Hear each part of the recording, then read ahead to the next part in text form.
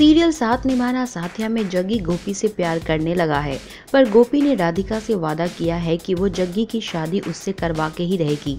और इसके लिए गोपी ने जग्गी को अपनी कसम दे दी है। वेल, शो में एक ट्विस्ट आएगा। अपकमिंग एपिसोड में गोपी को पता चल जाएगा कि राधिका का अफेयर किसी और लड़के के साथ चल रहा है, जिसका नाम मंगेश है। गोपी मंगेश और राधिका को मिलते हुए देख लेगी और वो उन्हें रंगे हाथ पकड़ेगी। गोपी राधिका का सच सबके सामने लाएगी, पर उर्वशी साबित कर देगी कि ये सब गोपी का ड्रामा है, और वो नहीं चाहती है कि जग्गी और राधिका की शादी हो। दूसरी तरफ़ जग्गी ने फैसला कर लिया है कि अब चाहे राधिका उसके लिए सही लड़की हो या ना हो, पर वो उसी से शादी करके रहेगा। अब सवाल तो ये उठता है कि क्या गोपी जग्गी और राधिका की शादी रोक पाएगी? ये जानने के लिए देखते रहे हमारा चैनल।